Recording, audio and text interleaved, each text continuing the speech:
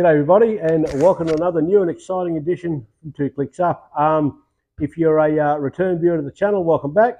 And if you're a new uh, a new viewer, a new subscriber, welcome aboard. I hope you enjoyed. I hope you get something out of it. And I hope you hit that subscribe button. Um, what have we got in front of us today? We've got our reborn, rebarreled uh, Howa 1500 in, uh, in 270 Winchester. Started life as a stainless sporter. Um, started to shoot all over the shop, so I've treated it to a new Swan 24 inch fat chromoly barrel. Um, 1 in 10 twist, pretty standard sort of stuff. Makes the rifle a lot heavier. Had to do a lot of modification in the uh, barrel channel just to get the, uh, the fat profile to fit in the sporter stock but works a treat. I've been ta it's taken me a while to get a get some shooting done with this. We've been uh, pretty busy around the place with a few uh, few issues and one thing and another. But be that as it may, um, life is uh, life is getting back to some sort of normality, and we can do a bit of shooting now. So I got this out the other day, so we'll uh, flick across to a bit of uh, range footage, then we'll come back and we'll uh, look at the results in the shed. G'day everybody. Here we are, we're out at the out at the range today. We're doing a bit of load testing for a couple of different rifles and I brought with me the old uh, reborn, rebarreled, rebirthed, whatever however you want to say it, Howa 1500 chambered in 270. It's an old stainless 270 I bought on, on the uh, on the second-hand market a, good while ago, and it just started to shoot really erratically.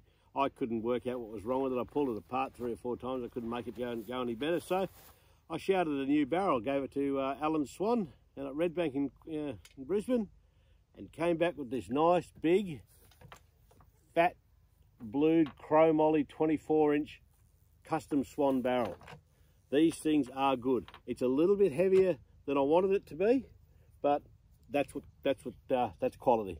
And uh, swan barrels need no introduction. We all know what they're like. So I've bore sighted this rifle. I've got a, a target down the hundred, and I'll, all I want to do is just sort of Look, I, I, hate to, I loathe to say the word break it in. I'm not a big believer in that, but I'm just going to foul the barrel up and scratch it up a bit and, and all that. Bought a bit of the old uh, PPU, the cheapest shitty ammunition you could buy. It shoots all right. I've shot I've shot this in the old two the old 270s before. Never had an issue with it, and we'll just we'll just uh, sight it in with that and uh, and see how we go. So what we'll do is we'll just load them one at a time. What are these? These are 100 and what are they, 130 grain soft points, the standard 270 offering. So, load them one at a time. Right, first shot out of the new barrel in the 270. Custom swan barrel, see how we go. It's a 270, still boots like a bastard. You know, to say this is um, added a bit of weight to this rifle is probably the understatement of the uh, of the year. I had to get right in and clear this uh, clear this barrel channel out because this had a sporter profile. This big fat barrel, you just you couldn't wedge it in there for love or money. And uh, I still may shout there's another stock down the track. So, but we'll see how we go. So I'll have another crack at it. Right, let's start having a look where we are. I'm not going to bore you watching this rubbish, so we'll uh, see you later on. Righto, the uh, the big 270, she's all sighted in as much as I need it for this little load testing little exercise. Um, I'll do the first couple of shots and I'll do the rest off camera. It gets a bit boring after a while, this sort of stuff. But I'm using uh, 130 grain Hornady SST projectiles then I've got 130 grain Speer soft point Spitzer projectiles and I'll be testing them with uh, ADI 2209, 2208 and 2206H because I have had to use that before with, uh, with some success. And uh, I've also got some 100 grain Speer hollow points which I'm going to test with 2208 and 2206H. But we'll, uh, we'll go through that when we do the, uh, do the results back in the, uh, in the man cave. So um, there's a few old loads that I've used before and a few new tryouts. So we'll, uh, we'll see how we go. So we've got our targets, our three inch targets as normal, set up down at 100 yards. And uh, let's uh, make some noise, shoot some grease with this big girl. Um, it did settle down when sighting the thing, it did dance all over the uh, all over the page for a little bit, but uh, we brought it back in and it's sitting about it, give or take an inch high at 100 yards. So, but we'll uh, once we work out a low, we'll uh, we'll zero that in properly. But here we go. 130 grain SSTs, uh, ADI 2209 powder, load testing.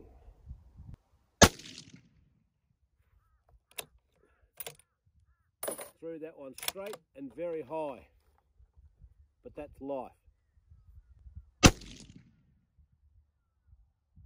Hmm. Again straight, not quite as high.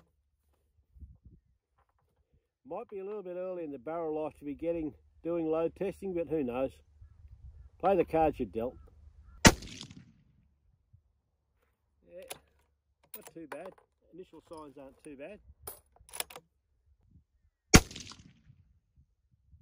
Yeah, that's that's not too bad. And as I say, it might be a little bit early in barrel life. That's four, and that's starting to warm right up. The problem with the fat barrels, they get hot, they stay hot for a little bit. So this is going to take a while because I let that cool a little bit. Otherwise, you just you don't find anything out. You try and rush. So um, we'll see you back in the shed. Right, before we go anything any further, I'm going to say I'm going to do this uh, video in two parts. For the simple reason I did a hell of a lot of testing in one day for this uh, for this rifle. Um, I got it all done in one day, and to do it all in one video would make it probably too long, and I'd have trouble keeping uh, keeping people's interest and attention for the full length of that. So I'll break it down into two parts. I basically did three different projectiles, three different powders, and uh, four different powder charges for each projectile. And however that adds up, it adds up for a bloody long video because I tell you it was a bloody long day shooting. But anyway, let's get on with it. Right, brand new barrel. I'm not a big believer in these uh, barrel break-ins and all that sort of crap they go on with. Um, so I, what I do is I just want to scratch them up and foul them up and get the thing shooting straight. I did that with a, a packet of that. I'll trust, tried and true, trusty old PPU 2, uh, 270 ammo. It's uh, 130 grain soft point. God knows how fast that, go, that goes. Who cares? Not the best ammo in the world. The brass is quite all right to reload though. But uh, that's about the cheapest factory ammo you can buy around the place. Right, we're going to use three different powders. We're going to use our uh, all our ADI 2209, 2208, and 2206H. Um, a lot of people don't really rate the 06H with the bigger the bigger uh, cartridges. It works. It'll work. No, uh, no ifs, buts, or maybes. Right, we're going to push it all with large rifle primers, and at this stage we're using uh, Remington large rifle primers. That's all we can get. That's what's around. You take what you can get. I've uh, loaded it all into brand new Winchester brass. I bought that as brand new unprimed brass. When I got that, I gave it a full length resize, uh, trimmed it to length, deep chamfered, deburred, ran it through the uh, sonic cleaner, etc., etc. So brand new brass. And I'm chucking on part one of this the uh, Hornady SST 130 grain uh, projectiles. Good, good Hornady thing. They are part number 27302 if anyone's interested. Very good projectile. Very, very, I love the SSTs and use them for a lot of things. Okay and that's basically them. I can ever get it in my hot little hand. Oh, here it goes. There he is. Try and get in a bit of light. There he is. Um, little ballistic tip, red tip little beast with a nice little boat tail on him. Cannelure. Um, yeah, very good projectile. High, very high quality stuff. Starting to get a tad expensive though. That's the downside of it. That's this. Uh, that's the uh, result of the scamdemic, I'm afraid. So uh, there we go. We've got all our information from as usual, Nick, Har Nick Harvey's uh, practical reloading manual, that was his 11th and I believe his last. I don't think he completed the 12th one prior to his passing, but I will stand corrected on that. And I always uh, use that in conjunction with the ADI guide. That's 99% of that's online now, so you're pretty uh, you're pretty right for that. I'll do me quick uh, loading uh, reloading disclaimer. So if you are if you wish to hand load ammunition, do so safely. Learn as much as you possibly can about it before you uh, before you start the process. It is a dangerous process, and you getting it wrong can have very very dire results. I strongly recommend you load only what is recommended into your rifle. Walk slowly up, walk slowly up the uh, up the ladder to for uh, for loading, load testing. As soon as you see any pressure signs, stop immediately. What I load works for me and in my firearms only. It may or may not necessarily work for you or in your firearms. Load within, always load within safe recommended parameters. If you want to load these things up and make absolute rocket ships and firecrackers out of them and blow your brains out, that's on you, not me. Righto. Rightio, let's have, uh, have a bit of a look at how we went now. We, uh, we started with our standard 3-inch targets at 100 yards. Move him up a bit so we can see. Okay, what are we on? We're on our ADI 2209 powder. We've got our 130 grain Hornady SST projectiles. Okay, it took us 11 shots to sight that rifle in to a point where I was happy enough to start shooting some groups with it.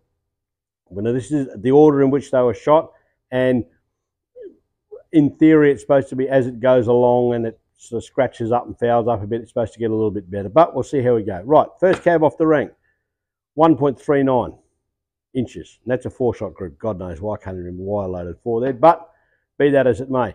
Now, these are old loads I used to use. So there's also a bit of a tried and true experience with some of these different loads that I've used. 53 and a half. So we've gone up in half grain increments. Now that's a 1 point, what is that? 1.564 inches. Call that a fly, call that me, I don't care. There's two, that's, that's two next to each other. So anything can do that, I'm happy with that. That's, that's likely going to be me. That is likely going to be me, and I'm happy to take the, take the credit, if that's the right word for that, the credit or the blame, whichever you want to call it. 54, we've gone up um, another half another half a grain. Still not foul, still not foul. And um, under MOA, so that's 0.927. And we've gone up to 54 and a half. The maximum listed for 2209 is, uh, we've got a two and a bit inch group there, so we don't worry about that. So that um, 53.5, that he, he's the winner thus far. So we'll, uh, we'll go to the next bloke. Here we go. Right.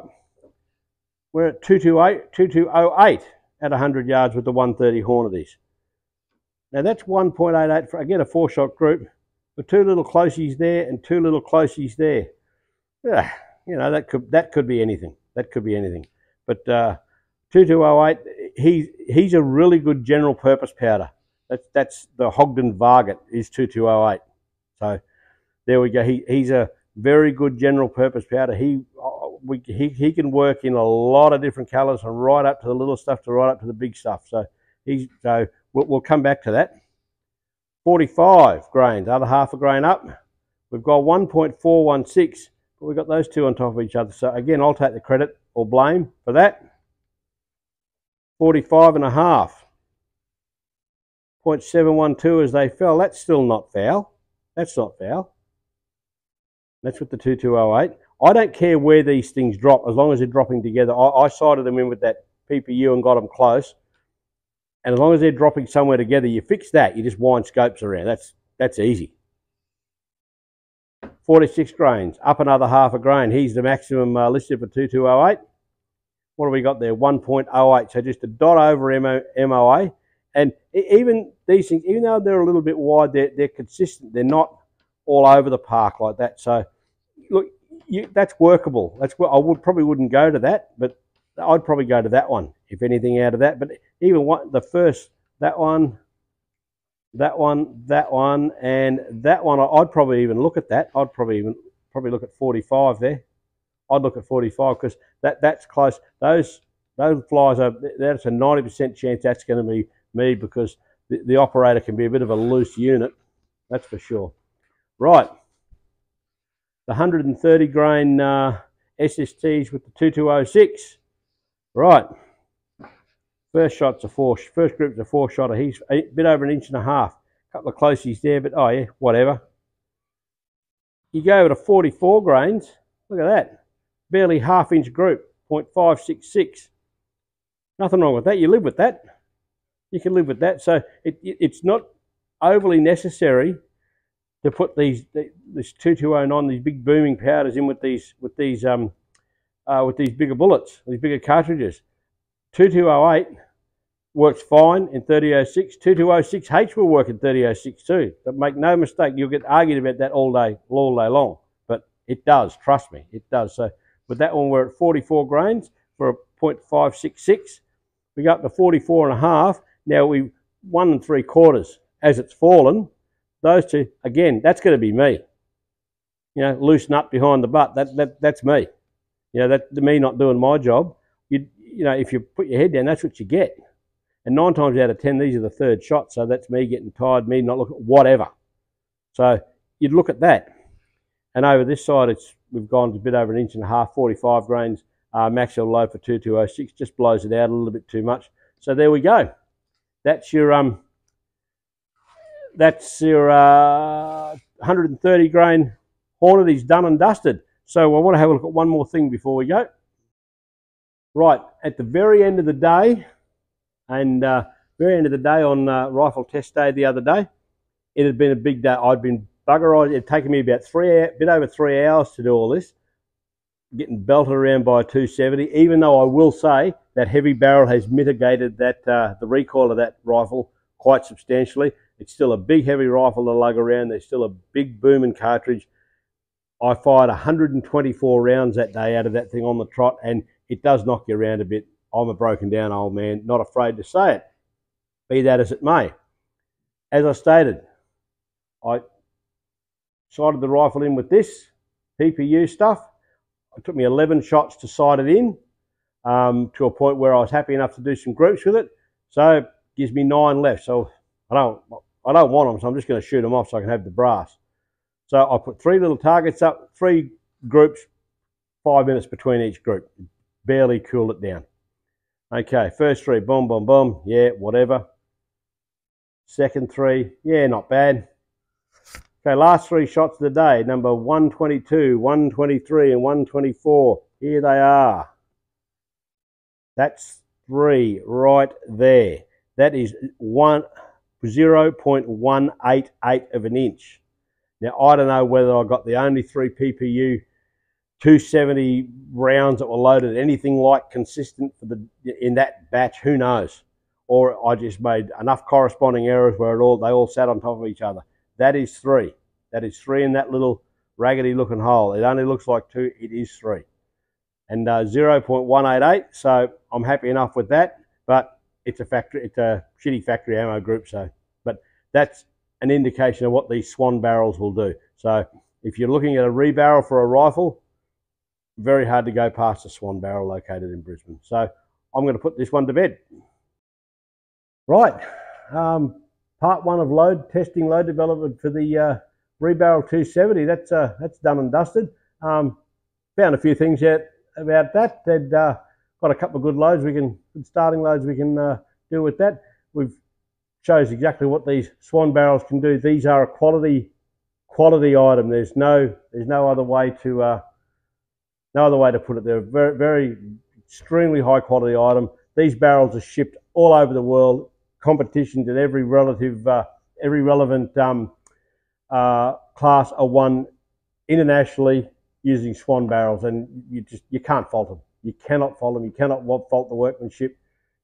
Great family business. Go and see them if you've got a rifle that's sort of all of a sudden it doesn't want to shoot anymore, don't throw it away.